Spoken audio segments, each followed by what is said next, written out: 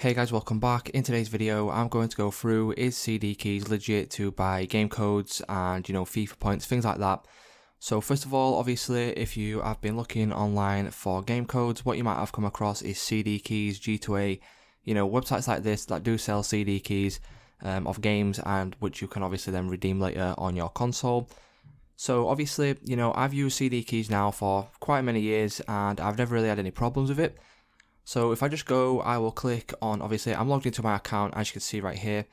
And if we go over to my orders, for example, click on my orders, which will bring me over to all the games that I've ordered on CD keys. So the first game that I ordered was around five years ago, which was PUBG on PC.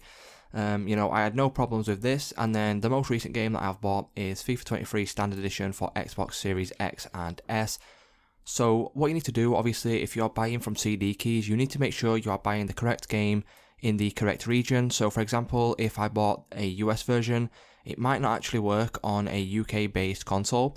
So this is what you got to watch out for when you are actually buying a game code. And then once you have bought it and once you are paid, what you can do then is you can click on the get code button right here.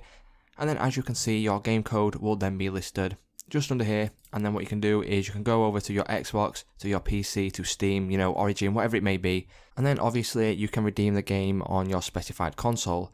So CD Keys is a legit website to buy from guys, you know, if I go ahead, add this code, go come down to get code for PUBG, it would be the code that you would redeem on your PC. So for me personally, I've never had any problems with it and it's always been really, really good.